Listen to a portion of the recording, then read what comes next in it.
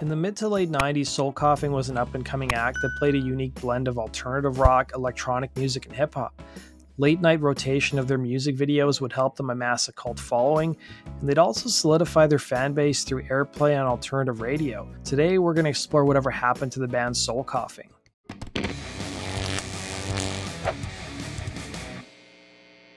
Soul Coughing was formed in New York City by vocalist and guitarist Mike Doughty in 1992, who was an aspiring music critic and poet at the time. By his own admission, he was born to be an army brat, his father taught at West Point. During his early career, he would write for McSweeney's and Might, and wrote a pretty scathing column called Dirty Sanchez for several years at the New York Press. He would work as a doorman at the nightclub The Knitting Factory, a club that Spin magazine referred to as, and I quote, the mecca for avant garde experimentation.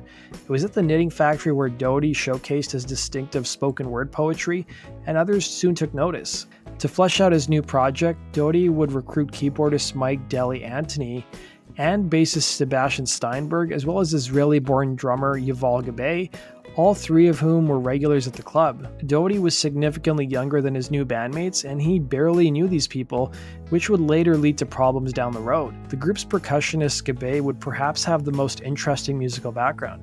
Born to a Moroccan Jewish family in his home country of Israel, he didn't really have a lot of exposure to rock and jazz growing up but he would be inspired by different sounds he heard on the streets. He would tell the Chicago Tribune, even a faucet running, I'll tap my feet to it until somebody stops me. Mostly I played weddings in Israel. To do that, you have to know how to play Moroccan music or Yemenite music or Russian songs or music from Kurdistan. And if the couple is mixed from different cultures, he'd say. He would end up moving to New York City and joined a percussionist trio who played polyrhythmic experimental rock and they eventually signed to a German record label touring across Asia, Europe, and the United States. He soon branched out to work with hip hop acts and even wrote and choreographed music for the New York dance troupes. Soul coughing would take their name for a slang for throwing up, and the band would rely on unconventional instrumentation, including a guitar, a sampler, an acoustic bass, and drums, to create the music that blended jazz, hip hop, indie rock, and noise experimentation. The band's website in the 90s would list influences ranging from Black Sabbath to Bootsy Collins, A Tribe Called Quest, and Built to Spill. The band's songwriting style differed from other groups at the time, with Mark De Gli Antoni telling Billboard, We're not one of those bands who sits down to write and the thing is in stone after a week. We write music together and flush it out in performance. Until it gets to the point where it may take 10 to 15 performances, it's not really fleshed out. Those attending Soul Coughing's live gigs never knew what they were in store for. Some gigs would have them playing completely brand new songs that weren't recorded yet, while other gigs may have them playing fan favorites. With the rising popularity and accessibility of the internet, Soul Coughing took advantage of technology as the band openly encouraged bootlegging of their concerts. Bootleg tapes would be openly traded on a folder dedicated to the band on America Online, something which Doughty himself would take part in. In just one year, the band would be signed to Slash Records, and by this point, the label had soon become part of Warner Brothers, giving the band much needed mainstream exposure. Doughty would tell the Baltimore Sun what strings came attached to being signed to a major label, saying, You don't necessarily have to choose a category musically, but business wise, you absolutely, positively have to choose one. And we were very upfront to everybody. Okay, we're an alternative rock band, whether you like it or not. So that's the box that they've thrown us in, radio wise and marketing wise, he'd say. The band's first album, Ruby Vroom, would be recorded in 1994 in Los Angeles at Sunset Studio Factory. The group's approach for it would be experimental, as they integrated samples of blues and vocal group records, as well as scores from vintage cartoons. An article written by Mark Brown of the Chicago Tribune explored the surprising trend of babies and parenting among rock musicians and noted the album's title was a mispronunciation of Ruby Froom, who is the daughter of producer Mitchell Froom and singer songwriter Suzanne Vega. Interestingly, the studio where Soul Coughing recorded had a number of baby toys in its storage room, like rattles, whistles, and mini xylophones, which the producer of the album, Chad Blake, encouraged the band to use. In Doughty's 2012 memoir, The Book of Drugs, he praised Blake's approach, saying, He's the closest thing I've seen an engineer come to really being an artist. He put vocals through a big bullhorn on a stick that he found in India, put microphones and old mufflers and recorded sounds through them, and ran sounds recorded with $10,000 microphones through effects pedals he bought for $10 at garage sales. Doughty would add, he really didn't give an F about how the music sounded anywhere other than the beat up 60s vintage pickup truck he drove between home and the studio. It always sounded amazing there, he'd say. Once Ruby Vroom was released, it failed to chart and sold quite poorly, moving less than 100,000 copies in the next few years. But it received critical acclaim with Rolling Stone later calling it one of the 40 best mainstream alternative albums of 1994, as well as one of the 100 greatest albums of the 90s. Despite the band's underwhelming debut, their label had faith in them. The product manager for Soul Coughing for Warner Brothers would tell Billboard magazine a few years later, We were not satisfied with the 70,000 records sold, and we will not be satisfied until we reach a greater goal. The band is mining turf that no one else is mining. The product manager will go on to say that the biggest realization they had about Soul Coughing is that the group was capable of being paired up with a variety of artists on the road, including Jeff Buckley and the Dave Matthews Band, only further helping bolster their profile. But Steinberg would tell Billboard magazine, Our record company says we have faith in you guys, which becomes more and more loaded. In 1995, during an appearance on the Canadian show The New Music, Doughty offered some more insight into Soul Coughing's music, saying it was entirely an accident. I think the only idea that was present before Soul Coughing started was that it was going to be funky. Beyond that, it's been sort of anything goes, and over time it became very closely related to who we are as people and how our particular personalities interact, he'd say. Yuval Gabay would add, We try to relate to the lower part of the body, have people shake their booty, dance, and just feel good. When asked about what role the band's lyrics play while their music is based on movement, Doughty expanded farther, saying, In the nature of language, each word evokes a tremendous amount of things for specific people. What these words are about more than getting across a narrative or expressing an idea is just getting the rhythmic or musical quality of a word into people's minds so that it loops over and over again, and whatever it means to them comes to the front of their mind, he'd say. The same year, Soul Coughing started working on their follow up album, Irresistible Bliss, a record whose main theme consisted of love and heartbreak. In fact, Doughty would tell the Orlando Sentinel not that I exactly have a nation of ex girlfriends, although it seems that way sometimes. I think I'm blessed with a band that doesn't even listen to the words. No questions ever arise, he would say. The band wanted Chad Blake as a producer again, but due to a death in the family, he was only available for part of the mixing sessions. In the meantime, Doughty would go with producer David Kahne, despite objections from both the rest of the band and from his record label. Doughty's goal for the album was to have more of a contemporary feel, and as a result, the songs feature catchier and more conventional song structures.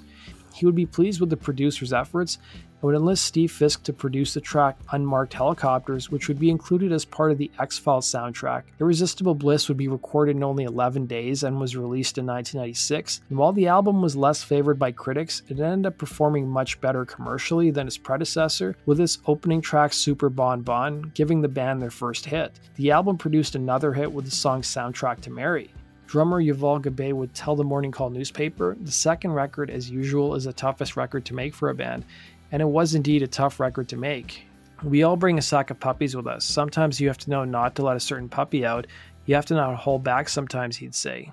By the late 90s, the band was touring with drum and bass producers Krust and Die, and so their third and final album, El Oso, would feature a sound heavily influenced by electronic music.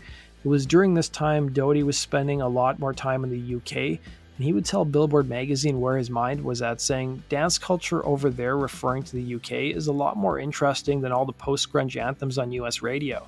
In London clubs, it's all about ecstasy, the movement, and crazy beats. You can hear amazing music one night that you'll never hear again. The only similar situation at home is with bands like Phish and all the hippies at the shows getting effed up and dancing around, he would say. Chad Blake would be brought back as the producer on the group's third album, while also providing synthesizer accompaniment and programming. Once the album was released in 1998, reviews for the record were mixed, but it made the Billboard Top 50 and carried another single, Circles, their biggest yet, which peaked at number 8 on the US alternative charts. A year later, the album was also a number one hit on college radio station KTUH in Honolulu, Hawaii. It seemed as though Soul Coughing were on their way to the big time, but Mark De Gli Antoni left the band to focus on family, and rather than continue on, the band called it quits in May of 2000. Following Soul Coughing's dissolution, bassist Sebastian Steinberg and drummer Yuval Gabay took up session work, while Antoni saw success as a composer. Meanwhile, Mike Doughty's transition would be initially rough, as by the time the group broke up, he'd grown disenchanted and developed an addiction to various drugs and alcohol. Doughty would start a solo career on his own after being dropped by Warner Brothers, selling his debut album Skittish on blank CDRs, while also touring for several years in a rental car. By the time he released his third solo album, 2003's Rockity Roll, he gained enough of a following independently of Soul Coughing. And Doughty's fate would continue to change for the better. The next year, after playing the Bonnaroo Music Festival, he met up with Dave Matthews, a longtime fan, who he'd toured with previously with Soul Coughing, who he gave a rough cut of a solo album to he'd been working on, and after a few connections, they'd released the album on Matthews' label ATO Records. From there, the album singles Looking at the Wind from the Bottom of a Well and I Hear the Bells were featured on the shows Grey's Anatomy and Veronica Mars, and Doughty found his way back into the mainstream following an appearance on The Late Show with David Letterman. In subsequent years, Doughty expressed mixed feelings about his former band. While outside musical projects were given as the main reason for Soul Coughing breaking up in 2000, it went deeper than that, according to Doughty. In his book titled The Book of Drugs, he referred to the band as, and I quote, an abusive marriage full of emotional violence. He continued to recognize the importance of the band's music and recorded updated versions of their songs on his 2013 crowdfunded album Circles, Super Bon Bon, and The Very Best of Soul Coughing, and performed Ruby Vroom in its entirety in 2019. He would tell the Village Voice in 2009, I get more and more afraid that a soul coughing reunion is going to be forced upon me at knife point. I don't need money that bad. I swear to God.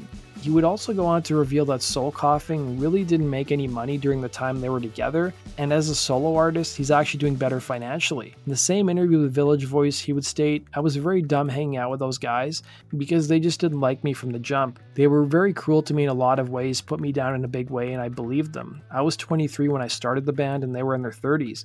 I thought they must be smarter than I am. They must be right. The whole reason this is taking off is because of them. We found all these terrible people we worked with that were essentially like those guys. Soul Coughing was this weird universe, the sort of Dante's Inferno, where I was the devil's asshole, and there was the band, the management, the record company, and everybody hated me, he'd say. But as recently as February of 2021, Doughty revealed wanting Soul Coughing to get back together and for his latest project, Ghost of Vroom, to serve as a companion album for their potential comeback. Even though he'd be on good terms with Sebastian Steinberg, the rest of the band didn't seem interested. He would tell the publication Commercial Appeal, I actually wrote Ghost of Vroom for Soul Coughing, but honestly, I got back a hot plate of crazy. I guess I was expecting that when I went to them, the possibility of a reunion was pretty quickly eliminated, he'd say. Today, Doughty has continued Ghost of Vroom as a standalone band with longtime collaborator Andrew Scrap Livingston. That does it for today's video, guys. Thanks for watching. Be sure to like button and subscribe, and we'll see you again on Rock and Roll True Stories.